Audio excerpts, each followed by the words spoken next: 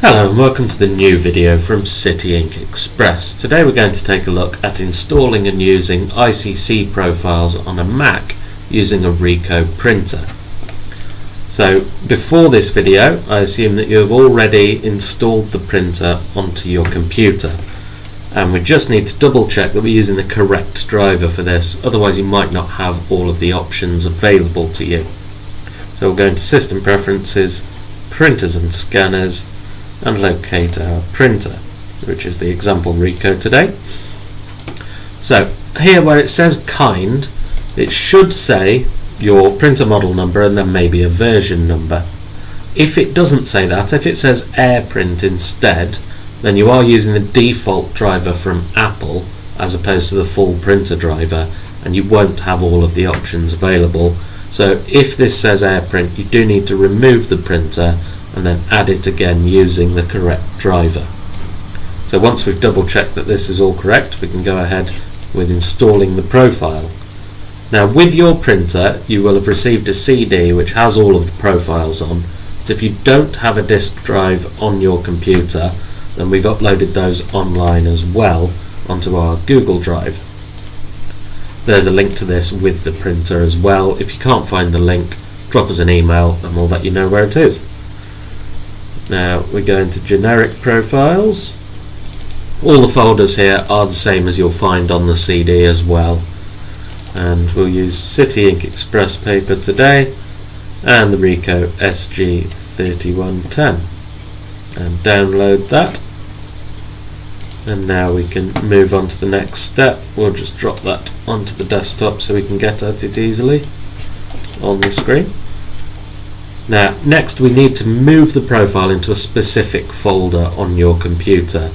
Macs will only look in one specific folder when they're trying to find ICC profiles, so it's no good having it on the desktop there. So we'll click Go and Computer, and the location of this folder is in Macintosh, Library, ColorSync, Profiles, and we'll drop that in it may come up saying that you need to authenticate and type in your password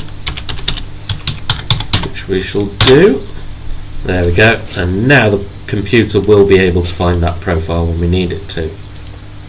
And the next thing to do is to open any program from which you can print. In this case I'll use notes because it's easy.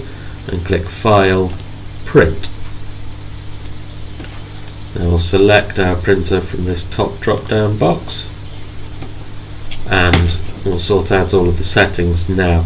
If you can't see the full window, if it looks like this instead, you need to click show details here at the bottom. And we'll go into color matching first of all, color sync, and we'll select our profile from the drop down box here. If you can't see the profile here, then you need to click on other profiles and this box will pop up with the full list of all the profiles installed on your computer and it's this Mac Ricoh SG3110DN using City Ink Express sublimation paper. Now after we've selected the correct profile we can go into setup and this is where we select our print quality. Now for Ricoh printers we found the best results using glossy paper and super high quality. If you choose a lower quality or a different paper type, sometimes it's just not up to scratch in terms of the quality of the image. So we do recommend using glossy paper, super high quality settings there. And finally, because we're doing sublimation printing today, under layout we have this flip horizontally which will print in mirror image mode which just means that all of your images will be flipped horizontally so that when you've pressed them onto your mugs or onto your t-shirts they are the correct way round which is important obviously if you've got text on your mugs or t-shirts. So we'll tick that button as well. Now in presets here we can save these settings so that we don't need to select all of them individually every time we want to print for sublimation.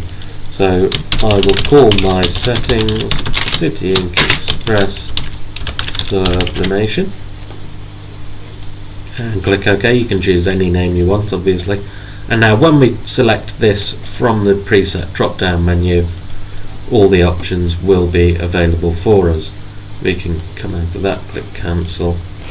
So yeah, next time we come to print we can just select after selecting the printer we can select the sublimation options and it will have chosen to print in mirror image with the correct profile and the correct print quality as well. So that is how you install and use ICC printer profiles on a Ricoh printer from a Mac. Thank you very much.